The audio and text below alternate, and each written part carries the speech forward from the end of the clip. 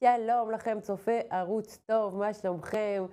כרגיל, אתם יכולים לעקוב אחרינו גם בערוץ היוטיוב וגם באתר, ואם אתם רוצים לקבל ראשונים את כל התכנים שלנו, פשוט תלחצו פה למטה ותקבלו, תתקשרו ישר לקבוצת הוואטסאפ השקטה שלנו, אה, ותקבלו את כל התכנים ישר לפני כולם. ועכשיו אנחנו אומרים שלום לכתב המשפטי שלנו, זיו מאור, עורך דין זיו מאור, מה שלומך?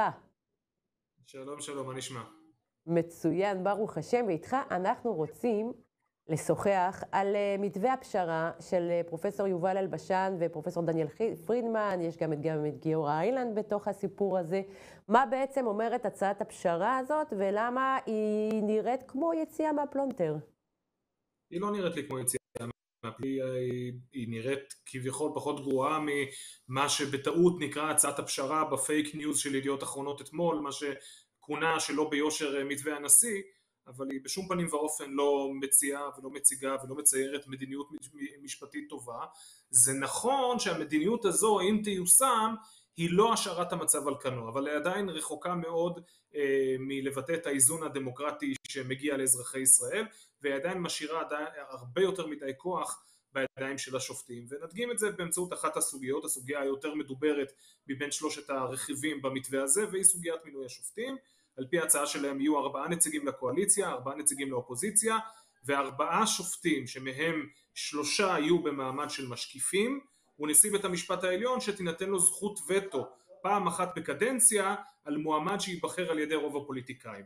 על פניו הצעה שמחלישה את השופטים אבל רק על פניו כי אנחנו צריכים להיזכר שהמחלוקת פה היא לא בין הכנסת לבין בית המשפט אלא בין הימין לבין השמאל ומה שאנחנו נראה זה שכאשר השמאל בשלטון תהיה הרמוניה בין השופטים לבין, הנבחרים ולא יעשה שימוש בזכות הווטו ולעומת זאת מועמד לשיפוט שיהיה ימני אמיתי, שמרני אמיתי שייבחר על יסוד הבטחה לבצע מדיניות שיפוטית שמרנית ודמוקרטית מועמד כזה הוא זה שיחטוף את זכות הווטו בסנכרון מלא בין האופוזיציה לבין השופטים.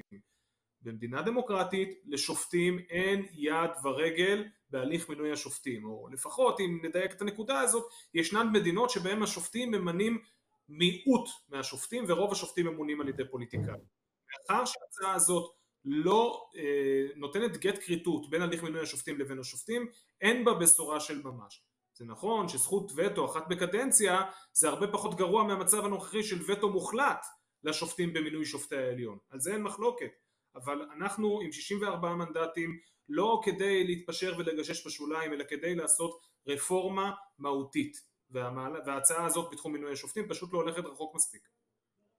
אה, אבל בואו נחשוב שנייה, בתוך כל האווירה הזאת שנוצרה, והיא נוצרה דרך אה, הרבה מאוד כסף, הרבה מאוד משאבים, הרבה מאוד תבהלה שמייצרת אה, תבהלה נוספת, האם ההצעה הזאת יכולה להיות, בוא נגיד ככה, שאנחנו פותחים אה, ככה, שמים רגל בדלת ואומרים וואלה, השינוי הראשון אנחנו נעשה אותו על פי המתווה ולאט לאט אנחנו נוסיף אה, דברים נוספים. נראה לך אה, שיש לזה היתכנות?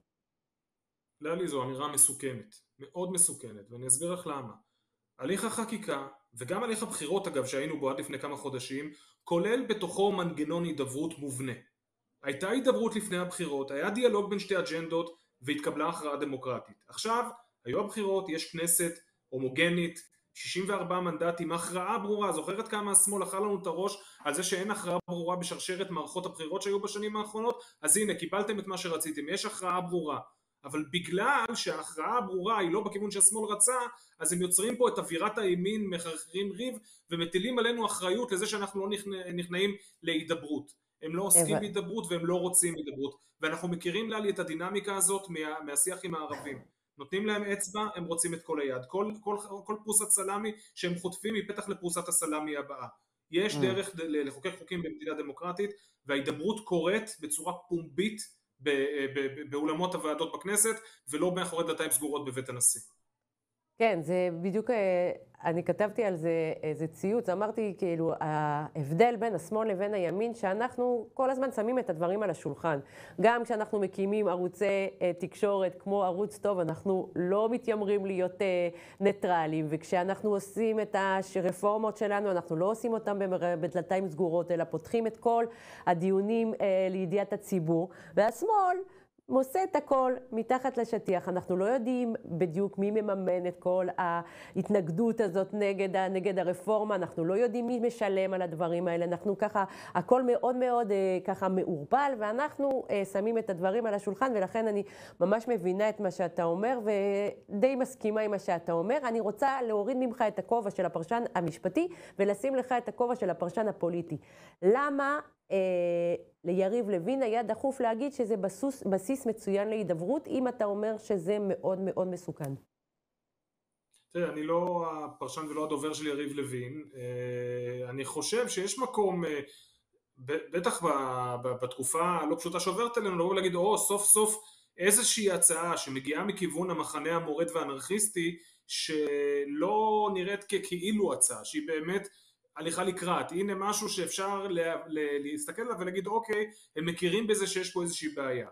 ולכן כנראה שהוא הגיב כפי שהוא הגיב, אבל זה שוב, אני, אני חושב שזו תגובה מיידית אה, ראשונית שהיא סוג של ההד לפייק ניוז של אתמול, למתווה הנשיא המזויף של ידיעות אחרונות מאתמול, אה, ובמחשבה שנייה יריב לא היה אומר את מה שהוא אומר, זאת הערכה שלי, בסופו של דבר... אתה לא חושב לא שהוא השתמש...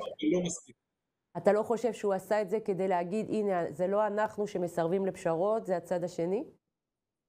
את זה אנחנו אומרים כבר חודשים, זה עוזר לנו? זאת עובדה אובייקטיבית, הקשקוש הזה, תפסיקו לחוקק, תפסיקו לחוקק ואז נשב לדבר איתכם, זה שוב, עוד פעם, כל כך מזכיר את המשאים ומתנים עם, ה, עם המנהיגים של הערבים ביהודה ושומרון, אה, אה, הדינמיקה הזאת, לא, בלי תנאים מוקדמים, חוץ מהתנאים המוקדמים שאנחנו רוצים אותם ובעצם מהווים כניעה מוחלטת לתכתיבים שלנו, בלי תנאים מוקדמים. מספיק עם המשחקים האלה. יש כנסת, קיבלה מנדט מהציבור, אם השמאל רוצה לשחק את המשחק הדמוקרטי ולבוא לדבר בוועדות, ברוך הבא, אם הוא רוצה להמשיך להיות דובי לולו, הוא יקבל, הוא יקבל את הרפורמה בפינה, יריב לוין ושמחה רוטמן, תמשיכו, הציבור הישראלי מאחוריכם. אז תודה רבה לעורך דין אה, זיו מאור, הפרשן המשפטית שלנו, ותודה לכם, צופים יקרים, להתראות.